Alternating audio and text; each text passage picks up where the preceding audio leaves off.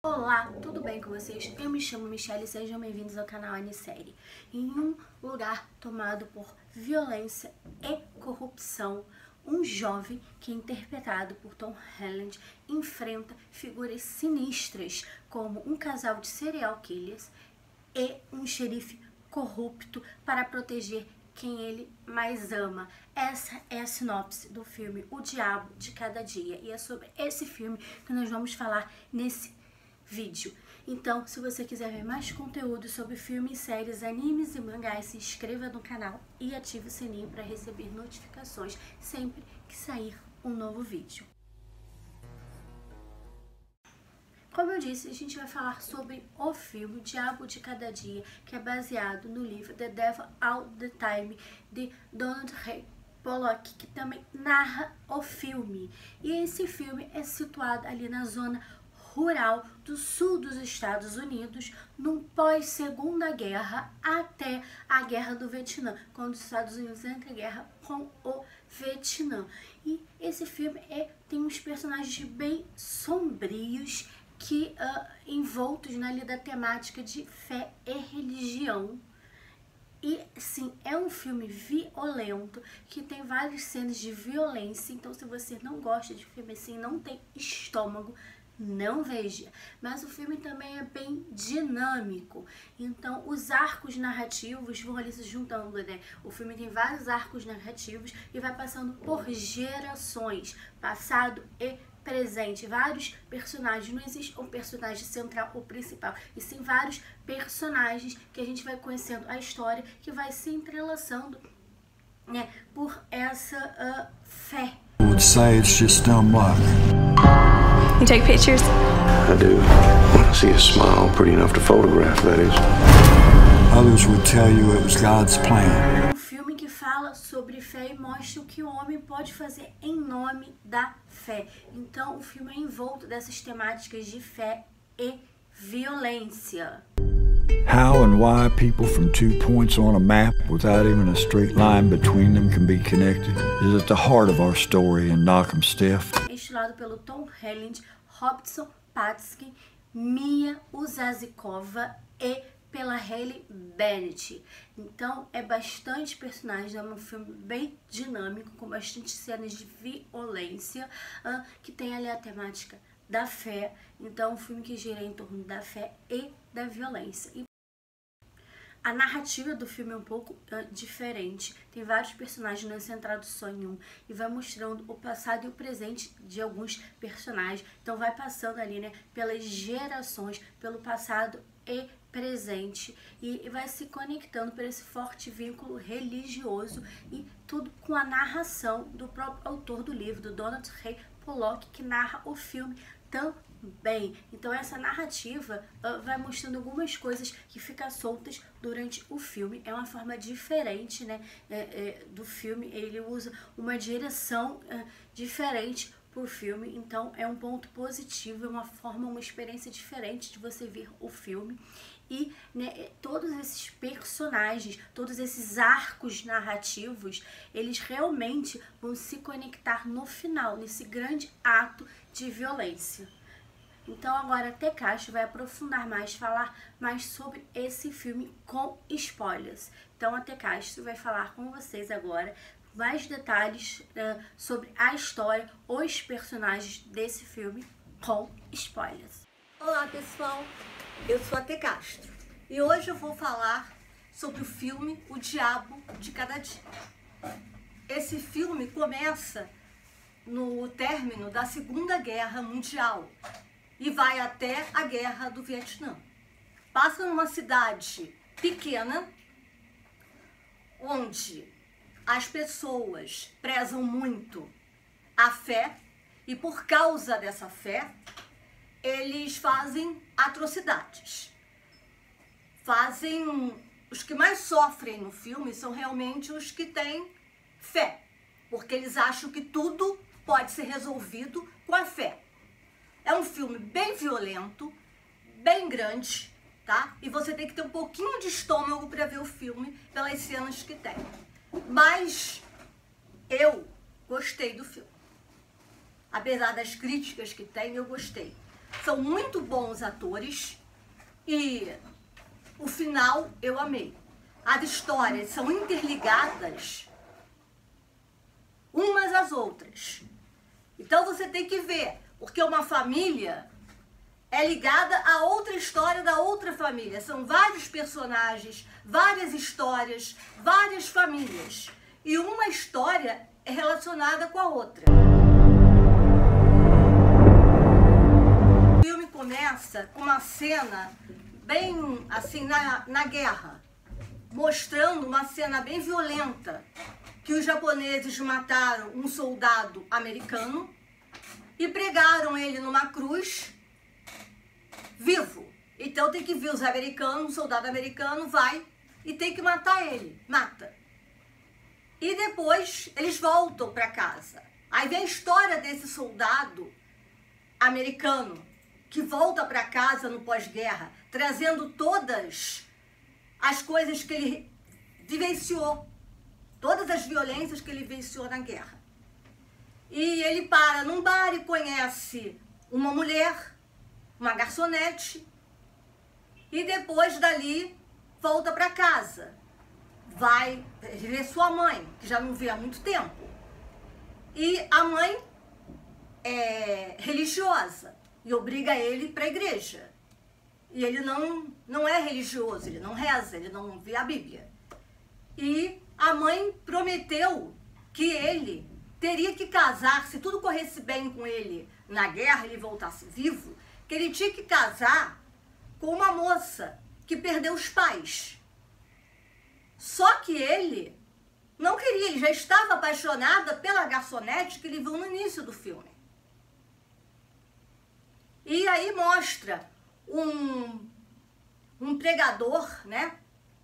Falando que as pessoas não podiam ter medo, que tinha que acabar com os medos, só enfrentando seus medos, senão você ia para o inferno e ele pega um pote de aranhas e joga em cima dele.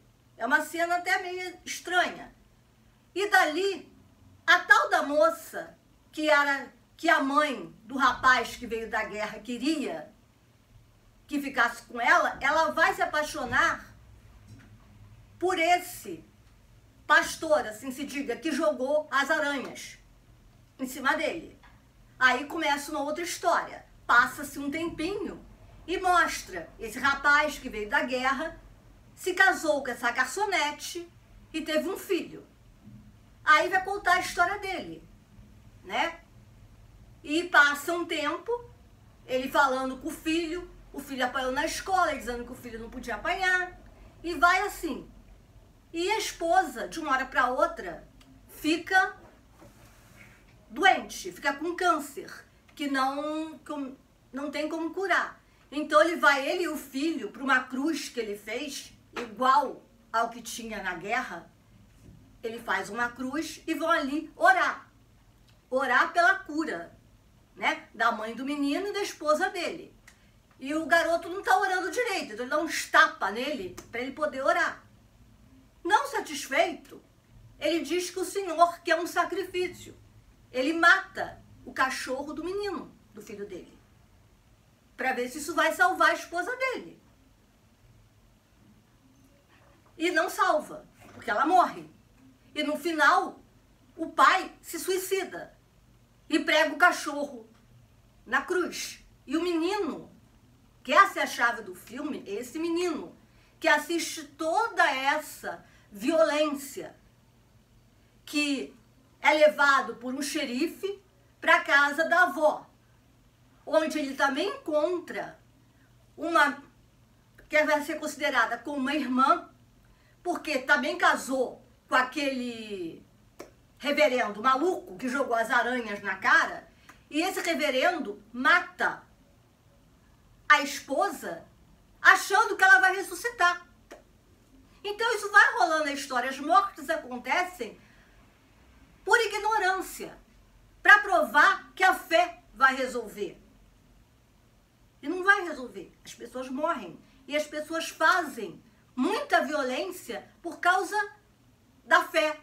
Então tem pessoas com fé, pessoas ignorantes, pessoas corruptas, vingança, muita morte. E quem não tem estômago para ver isso, nem veja, porque o filme é bem violento. E vai transcorrer todo em volta desse menino, porque todas as histórias são interligadas. Se você deixar um minuto de ver o filme, você não vai entender. E tem um narrador que vai ajudando a gente a entender o filme. Porque o filme tem várias pessoas, vários atores.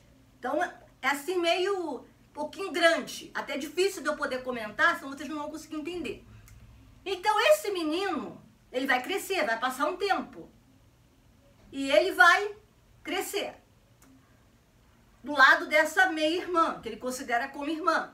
Só que ela vai. Ela é uma pessoa estranha, que na escola vai sofrer algum tipo de problemas.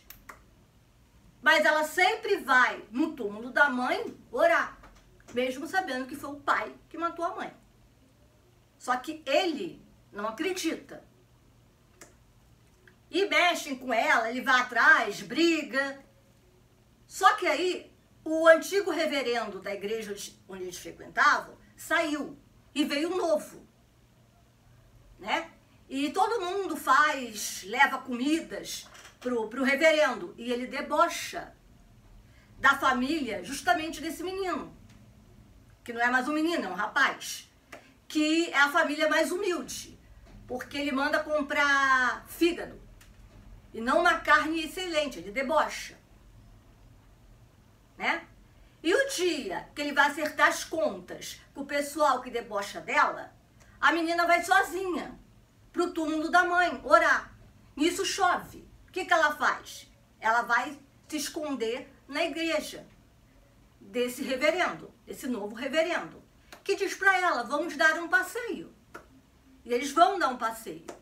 E ele fala que ela tem que ficar igual como ela veio ao mundo que é assim que o Senhor quer. Então ele se aproveita da menina. Tem, mantém relações sexuais com ela. E aí vai passando e vai vendo que esse reverendo vai fazendo isso com outras meninas da, da igreja.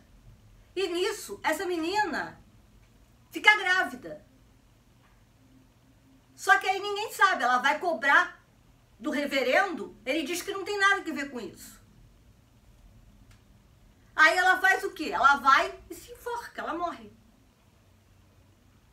Aí todo mundo fica assim porque um, um cristão não pode se suicidar. Mas aí vem uma pessoa que fez é, autópsia né, do corpo e fala para o irmão que ela estava grávida. Então ele começa a perseguir esse reverendo para descobrir. Então ele pega a arma que ele ganhou, que foi do pai dele, que passou para o tio e o tio deu para ele. Ele pega essa arma, que já está guardada com ele há um tempão, e vai até a igreja, atrás desse reverendo, e começa a falar. E o reverendo é obrigado a contar o que fez. E ele vai, mata o reverendo. Aí é que o filme começa a andar, aí é que o filme começa a ficar bom. Porque também o xerife é corrupto. A irmã dele é uma prostituta, esposa de um serial killer, né? Existe vingança, existe fé. É assim, eles se aproveitam. As pessoas que mais sofrem são as pessoas que mais têm fé. Porque as pessoas acham que a fé que elas têm vai modificar a situação. E não modifica. Então esse garoto vai acabar tentando se vingar. Então ele tem que fugir da, da cidade onde ele está, porque todo mundo vai saber que foi ele que matou o reverendo. Então ele sai correndo de carro. O carro dele enguiça. Aí ele vai e pede uma carona. Quem dá carona para ele é o casal do serial killer. A, irmã, a irmã do xerife, que é casada com um maluco, que gosta de matar as pessoas. E para um determinado lugar, porque o lugar onde ele tem que ir, ele quer voltar para o local onde ele morava. Então, ele vê, ele percebe que eles mudaram o rumo. Então, o que, que ele faz? Ele percebe como a, a mulher quer seduzir ele. Então, ele começa a perceber que tem algo estranho ali. Quando ele vê alguma coisa estranha, ele vai e mata. O homem, que é o serial killer, que deixa, faz com que a mulher fique nua, né? Tenha relações sexuais com as pessoas e depois ele mata e tira foto. E depois que ele mata, ela vai e pega um revólver. Ele diz pra ele: Agora eu vou te matar. Ele diz: Você não vai me matar, larga a arma. Ele vai e atira. Só que a bala do revólver dela não era de verdade, era de borracha. Então ele mata ela. No que ele mata ela, ele tem que também sair correndo. Porque vai haver uma investigação sobre esse assassinato. E o xerife corrupto é irmão dela que morreu. Então ele, ele vai e volta para a cidadezinha dele. Aí tem um homem que sempre falava com ele, ele pergunta: Aí ele se lembra dele, você é aquele menino que presenciou a morte dos seus pais. Ele falou assim, é.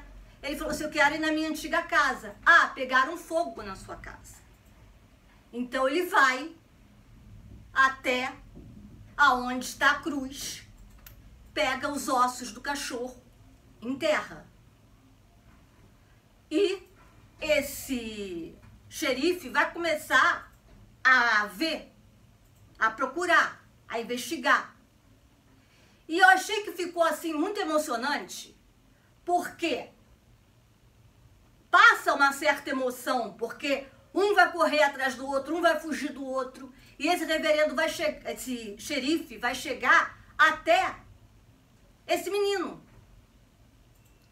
Que não é mais menino, é um rapaz que está procurando justiça. Justiça certa, correta na minha opinião. E o final, ele vai descobrir que foi ele e vai procurar ele, vai achar ele. Só que aí é um ou outro que morre. Então, quem consegue atirar é o rapaz que mata o xerife. Eu achei assim as cenas finais do filme emocionantes. Porque ele se vinga das pessoas que tinham que morrer, que realmente fizeram mal. Ele simplesmente não matou por pura maluquice, por religião, por, por ser corrupto. Ele matou porque ele queria fazer justiça. O xerife logo foi por acaso, porque o xerife era ele ou o xerife. Então, logicamente, ele matou o xerife, que aí era a questão de sobrevivência. E no final, ele sai dali correndo né? E pede carona. Aí, essa parte eu não entendi. Porque ele entra numa Kombi e pede carona. Só que ele não quer dormir, porque ele tem medo de quem possa estar dando a carona para ele. E nisso passa pela cabeça dele o que daqui em diante ele vai fazer da vida dele. Ele vai se alistar para ir para a guerra do Vietnã? Ele vai tentar encontrar uma mulher para casar? Ele vai tentar rever a avó? Tentar ver se ele consegue se justificar pelas mortes que ele fez, aí nisso acaba o filme. Não mostrando qual rumo que ele tomou. Entendeu? Eu só gostei, realmente, do final, da justiça que ele fez. Porque foi as únicas mortes que pode se justificar nesse filme. E foi emocionante. Eu achei, minha opinião. O restante foi por maluquice, por as pessoas não entenderem que você não pode matar em nome de Deus. E ele fez justiça. Então as histórias são interligadas. Só você vendo o filme para você entender. Eu gostei do final, valeu as duas horas de filme. O filme é longo, com muitas mortes, tá? Muita violência, mas eu, no final, eu gostei do filme. Valeu as duas horas de filme que eu assisti. Porque ele se vingou.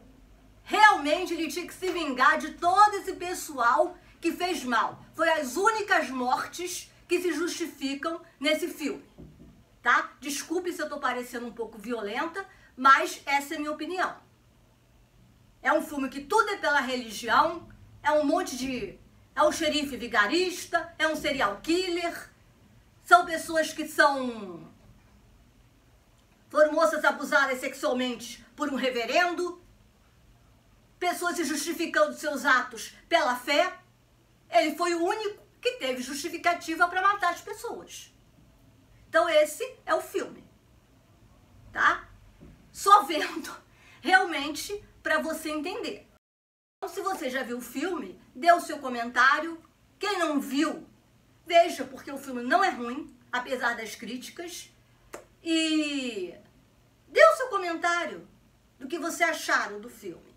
Não esqueça de se inscrever no canal, dê um like. Se você gostou, curta, tá? Obrigada. Espero que tenha gostado dos meus comentários. Beijos.